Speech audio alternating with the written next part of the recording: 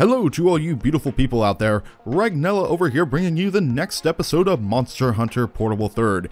In today's episode, we are going back to do a quest that I've been putting off specifically until after I have defeated the Royal Ludroth. And since I'm wearing his entire armor set right now, that's, uh, I've kind of done that. So let's go back and take a look at this quest. It is Under the Yolk. And the reason why I wanted to do this quest after I did Royal Ludroth was for the dash extract, which I need to combine with my well done steak. And this will give us a new item, and that item is Mega Dash Juice. And we need this for a very important reason for this particular quest because this is an egg quest, and egg quests suck. Like they they royally suck. I hate them. I don't like doing them. I think they are the worst. And so I'm maxing out my inventory space with the uh, with the Mega Dash Juice, and let's get on into this quest. So we're going back over to the area, the uh, level two quests, and right here, this is the one. Now note that we need to deliver three Gargwa eggs, and there is a Bulldrome. So here is my process for doing egg quests, and it's pretty simple. Uh, the first step is to not do them. And that seems like a really lazy passe way of going about it, but I'm quite serious. Whenever you do an egg quest, the first thing that you want to do is wait on it for a little bit. Wait until you get better items and equipment. Because almost always, these quests are going to have a large monster. And I'd much rather not deal with said large monster. So the first thing I am going to do is find the large monster and take care of him. Usually, that's what I do. But you see these Gargwas, they're right here. They're just, they're for the picking, and this is basically a free egg right here. How you get these Gargwa eggs is that you have to do a sneak attack. So, let's do it. Well, okay, well, this guy is uh, not dropping his egg. Usually that's supposed to be the case, but I guess not. I guess this game is going to make things a little bit more difficult than I thought. Usually what I do is an attack that uh, is from behind, and almost always I get an egg from the Gargwa in uh, cases like that. But I'm guessing that this quest is going to make things a little bit harder on me. So it's back to the original plan. The original plan is to track down the Bulldrome and take it out. Because that Bulldrome is going to get in your way and... Oh, speaking of which... I... Wait. Oh, okay, there he is. I was looking a little bit too far to the right. Okay, bull Bulldrome time. We're just going to get rid of this guy real quick. And that way we are not going to worry about him while we're actually doing the quest. There we go. Bulldrome down. I'm not going to worry about carving him because I really don't need any Bulldrome materials. Now it's time to continue on with the quest. The next thing to do is to plan your route. Once you find the Gargwas, you need to plan out what route that you're going to take back uh, to base camp. And so over here is probably not an area that I want to be at since there are Jaggies, and Jaggies are a bit of a problem. So I, what I'm going to do is I'm going to circle back around. I'm going to go from area 5 to 4 to 1, find out if there's any Gargwas that uh, I can take on. Alright, perfect. There we go. So what I'm going to do is I'm just going to draw my weapon, and I'm not going to kill him. Instead, I'm just going to tickle him. There we go. There's the egg. Now, next thing I'm going to do is I'm going to take the Mega Dash Juice, which gives me a permanent stamina boost for a limited amount of time. And so, while this effect is active, I will not get exhausted. So I'm just going to roll with it. And my, fi uh, my finger right now is currently on the run button, and I'm just not going to let go. So I'm going to keep at this until I'm back at base camp. So right now, the current route I'm doing is, is uh, 5 to 4 to 1. There is no Bulldrome to worry about. And there are no Jaggies to worry about, but that could change. Area 1 is not a safe area in cases like this during egg quests. Alright, there we go. These guys seem pretty peaceful. All right, so I'm just I'm I'm not gonna bother them. I'm gonna let them do their own thing. Alright, and now the next challenge for me personally is to not drop the egg. The problem with egg quests is that whenever you're holding it, if you touch anything, if something tickles you, you're to drop this egg and you're to have to do it all over again.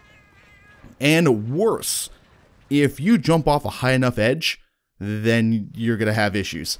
And here is the next problem. Remember how I was talking about monsters and triggers? In the case with egg quests, that is one of the big obstacles. When you either gather the egg for the first time or you deliver an egg, then that causes a trigger in the game to tell you, or it tells the game that, oh, he has an egg, and it's time to change things up a bit. So things are gonna be a little bit, uh, a little bit crazy. Uh, Area 4 still looks relatively safe. Uh, Area 1 is not because of Bnahabras. Let's see what's uh, in Area 5. Okay, Gargwas are back. Alright, so just another thing. Gonna do a fade slash. And there we go. There's another one. And just know that you can only get away with doing this once to a Gargwa. when uh, when it notices that it's being attacked, it will run, and every other uh, mo uh, monster in the vicinity that is an herbivore will pretty much run too. Oh, there's a couple Gargwas over there. And, man, I swear, I swear I heard a Bulldrome for a second. So I'm going to try to circle back and see if I can't pick off a couple of those uh, Gargwas, assuming that they stay. Alright, here's the next challenge. Bnahabras aren't much of a threat. If it was a Jaggy, then I'd be much more worried. But uh, the other uh, tactic that I use is that any monster on a route that is hostile, like the, the route that I use to get back to base camp, I will keep killing them until they either stop respawning or I will keep killing them until there's only like one left that respawns all the time. And that's that's always a case by case basis. Now my boost I'm thinking it's about to run out here pretty soon. But since that uh, that second that second egg was delivered, things have been changed up again. So now we have Bulldromes. Okay. There we go.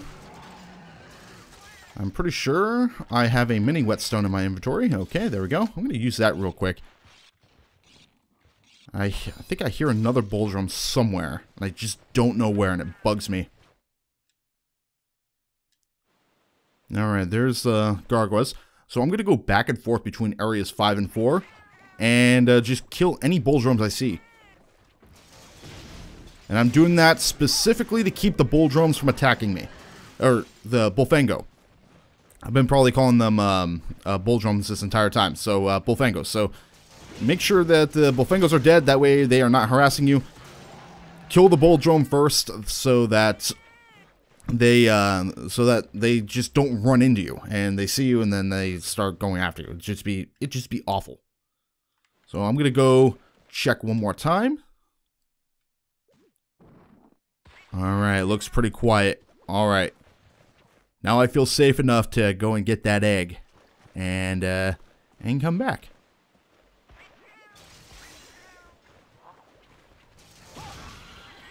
And there we go. Egg number three. Oh! Well, I learned something. I didn't know Gargwas can actually attack you. okay, that's, um... That's, uh, that's new. Granted, that attack was completely ineffective, but, you know, uh, well then, well, well played, GG. Okay, now that all that's left is to get this egg back to base camp with as little trouble as possible. Do not dodge roll when you're holding this egg, otherwise you will drop it. Okay, and lastly, alright, just need to avoid two Bnahabras. Again, they're not going to be a threat since they are very particular on how they attack. They only attack when they kind of want to, and even then, it's oftentimes not directly. They're kind of slow to attack. Alright, there we go. And the delivery of the final egg. There we go. So, the Uh, the notes that you should be taking for these quests. Wait a bit until you get better equipment. Uh, scout out where the monster or egg is located at. Take on any large monsters and get rid of them so they are out of your way throughout the duration of the quest. And along the route that you're going to be taking back to base camp, kill any hostile monsters that are for sure going to be in your way. So that's Bullfangos, that's uh, that's Jaggies. In other cases, it could be Wroggies or even or even Baggies. I believe there's a Suitstone quest later on. And make sure you use that Mega Dash juice with the Dash extract as well as the Well Done Steak to get your Mega Dash juices. That way you don't run out of energy while you're carrying the egg. So follow those steps and you should be just fine. But that's going to do it for me and this video. Thank you all so much for watching. If you're interested in any of my other content, be sure to hit on one of the annotations that'll be featured at the end of this video. And I will see you all again in the next one. Take care, people.